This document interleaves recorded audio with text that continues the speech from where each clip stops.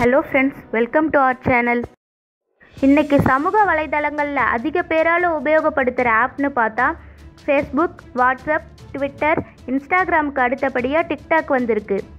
சிறியவர்கள் முதல் முதியவர்கள் வரை இந்த ஆப் மூலமாக தன்னோட அன்றாட வாழ்க்கை விருப்பு வெறுப்பு என எல்லாத்தையுமே பதிவு செஞ்சுட்டு வராங்க.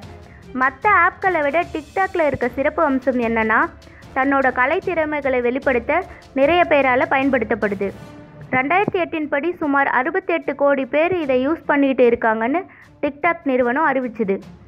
நாளுக்கு நாள் இது மக்கள்கிட்ட பிரபலம் அடைஞ்சுக்கிட்டு வர்றதால இன்றைய நிலவரப்படி சுமார் நூறு கோடி நபருக்கு மேலே பயன்படுத்திக்கிட்டு இருக்காங்க.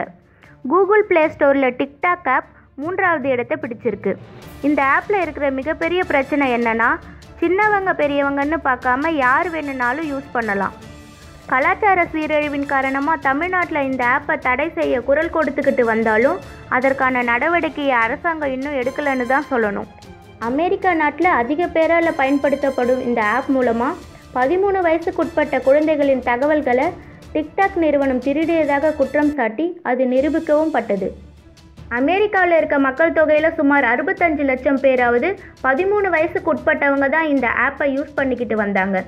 இந்த ஆப்பை யூஸ் பண்ணுற குழந்தைங்க மூலமாக அவங்களோட தகவல்களை பெற்றோர்களின் அனுமதி இல்லாமல் சேகரித்ததாக சொல்லி டிக்டாக் நிறுவனத்துக்கு ஐம்பத்தேழு லட்சம் டாலர். அதாவது இந்திய ரூபாயின் மதிப்பு நாற்பது கோடியே நாற்பத்தாறு லட்சம் ரூபாய் அபராதம் கட்ட சொல்லி நீதிமன்றம் உத்தரவிட்டது. இந்த குற்றத்தை டிக்டாக் நிறுவனம் ஒப்புக்கொண்டு அபராத தொகையை ஏற்றுக்கொண்டது. அதோடு பதிமூணு வயதுக்குட்பட்ட குழந்தைகள் உபயோகிக்கும் வகையில் ஒரு ஆப்பை தயாரிக்க சொல்லி அறிவுறுத்தியிருக்காங்க.